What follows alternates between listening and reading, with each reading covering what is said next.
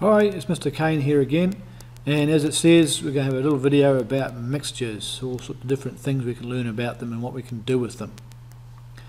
So in the lab we brew up all sorts of stuff, some are mixtures and some are chemical compounds, we're going to learn the difference. Focusing on mixtures. It's all to do with what's in there, the types of matter we're dealing with. Now we've got pure stuff that's only one kind of matter, so there's a bar of gold wouldn't we love to have one of those in our bags? It's only one thing in there, so it's pure. Mixture, there's more than one kind of thing. And there's a mixture. That's what we here in uh, New Zealand call scroggin. A bunch of yummy stuff to munch on when you're going tramping or hiking in the hills here and the mountains and the bush. It gives you a bit of energy and keeps you going. It's a mixture of all sorts of yummy stuff put together. So let's look at some mixtures. So it's two or more things all put together. And how much of each thing in the mixture varies. So air or concrete or we'll go here lipstick. What their, their ingredients, their recipe is always different. And the amounts, the proportions is also different. So there's our scroggin mix again. Have a look in that. The amounts of things are all different. There's probably a few more nuts in there than there are raisins and M&Ms and whatever else we can find in there. So the, the proportions in a mixture vary. So we've got two types. And there's some big words. We've got homogeneous mixtures and heterogeneous mixtures. Let's try those again. Homogeneous and heterogeneous. So what on earth does that mean? Let's have a look. So heterogeneous mixtures. Okay. Wherever you look, it's not going to be the same. It's going to be different in all sorts of different places. So if I take a sample one place, it's different from somewhere else. There's a good example.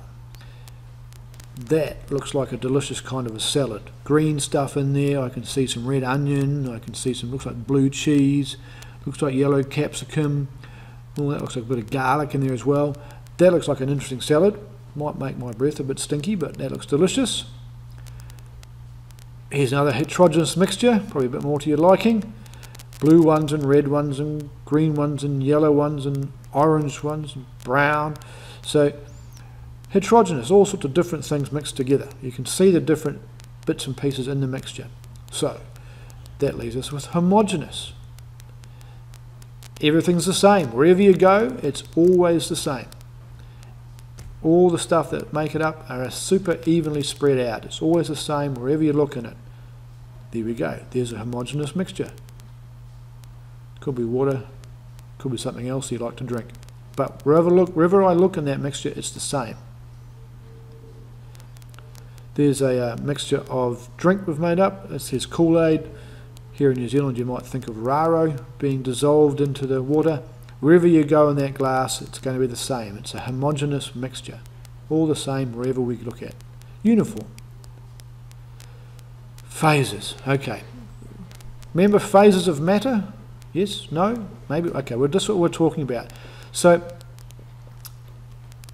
any part of the mixture with the same properties, same stuff, we call it a phase. So, let's have a look homogeneous, only one. It's the same everywhere, so it only be one phase. So heterogeneous will have more. Uh, let's have a look. So here's a, oh, it's like chicken soup. So in the chicken soup, we've got solid phase stuff. I can see lumps of chicken. I can see bits of, looks like pumpkin or carrot. Celery in there. Oh, not so sure about celery in the soup. And then there's the liquid phase of the soup as well. That's the broth that it's resting in. If it was bubbling, like bubbling hot, we could say there's a gas phase as well. So the phases are what it's made out of, solid, liquid or gas. There's a homogeneous mixture. It's just the one phase. In this case, it looks like chocolate milk. So it's the same everywhere I go. Everywhere I go in that glass, just chocolate. Rightio.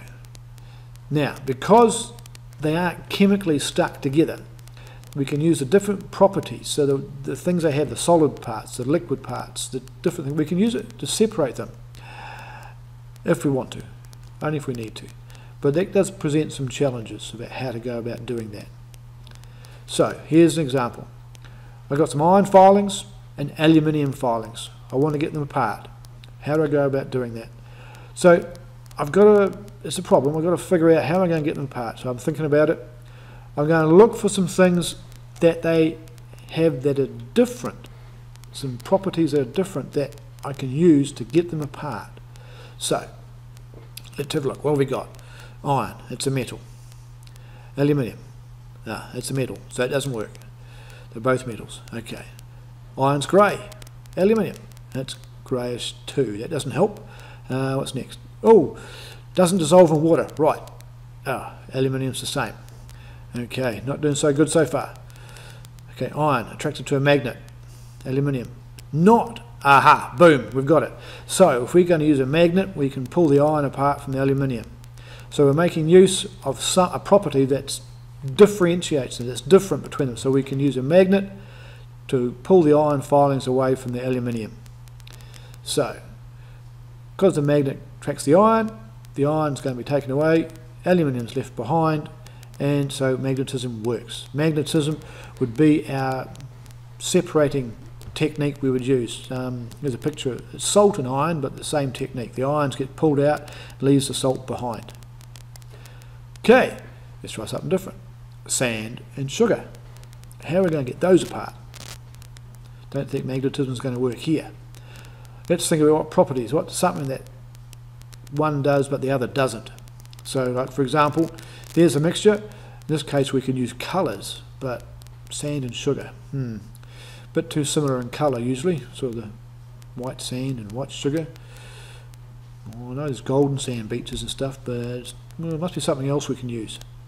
What are we going to do? Okay. Ha. If we add water, we can dissolve the sugar. Sand doesn't dissolve. It'll just sit there. So then we can tip the sugary water off the sand. It's called decanting. It's like when you finish cooking the, uh, the peas in the pot and you tip the water off and leave the peas behind. That's decanting. Then we get hold of that sugar water and we heat it all till the water boils away. The water evaporates away and we're left with the crystals behind. Well, don't heat it too much, you'll burn the sugar. That's called crystallizing. So we dissolve the whole lot, we tip the water off and then we crystallize it so we got the sand out of, the, out of the water stuff and then we got the sugar crystals back at the end. Well, we heat the sand and dry it off and we've got the uh, sand nice and dry as we started with. Okay, so we separated the things. Oh, tap water. Hmm, how are we going to do that? Distillation. What on earth is distillation? So, we boil a liquid, we turn it into a gas, and then we turn it back into a liquid again. That's distillation. Often we use this when we're separating two different liquids, usually of different boiling points. So here we go. We've got salt water in the flask at, at uh, one end here, and what's going to happen here? So we've got our flask, this is the flask here, we've got salt water in the flask, and we're heating it with the Bunsen burner, so we've got heat going up here, and that's going to turn to gas, and the gas rises up here and the gas goes into what's called the condenser and the gas goes down the middle of the condenser and around the outside of the condenser we've got cooling water coming in. We've got water coming in here and going out there. So we've got gas going this way and water going that way. That's going to bit messy. Let's clear that up a bit. So the where are we the gas goes down the centre, but the water is coming up and going this way. So there's a counter current flow. So what happens is the gas that goes down the middle condenses and drops out the bottom back into the flask. In this case I get distilled water out, pure water, and I leave the salt stays behind. Now this is also called crystallizing. We'll crystallize the salt into here but we'll recondense the water back over here instead of letting it evaporate away. So this is sort of crystallizing and condensing, not strictly speaking distillation.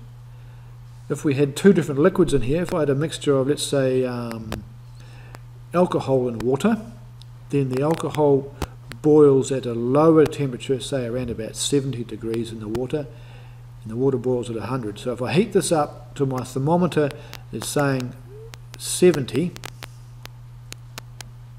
okay then and keep it around about 70, then the alcohol will disappear off down here, cool down, and I'll get, instead of distilled water, I'll get alcohol down the far end of it. Okay, and that's how I distill alcohol out of things. So that's distillation. Alright, what have we done so far? We've seen distillation, magnetism, dissolving, decanting, crystallizing. What else have we got? So, filtering and sieving, yeah, that's pretty straightforward. You know, filter stuff out, filter muck out. Sieving is moving bigger chunks than the filter does. Chromatography, let's break that word up into something. So, chroma is to do with colour, graphy, pictures, colour, photography, you know, think the idea. So we're using colours to separate stuff there. We might look at that in more detail later on. Um, the order they're going to be using is important too. So magnetism when it works when things are dry and stuff like that. So what are you going to do first? It's all, all kind of important. Um, lots of other methods as well. Um, if you watch those CSI programs on TV, NCIS and all those sorts of things, in their lab they've got a lab tech working hard away, separating things out and um, separating mixtures of stuff and they'll use machines that have big long names like a mass spectrometer and a gas chromatograph and stuff like that. They're all to separate, fancy ways to separate our mixtures and figure out what you're going to do. So, here's a problem for you. Iron nails, salt and water. How are you going to go about fix, mixing that up? No, it's already mixed up. How are you going to go about getting it apart? Okay, so I'll leave that with you. Um, I hope you found this thing about mixtures informative and I'll leave that challenge with you and hopefully you have some success. Go home and try it out.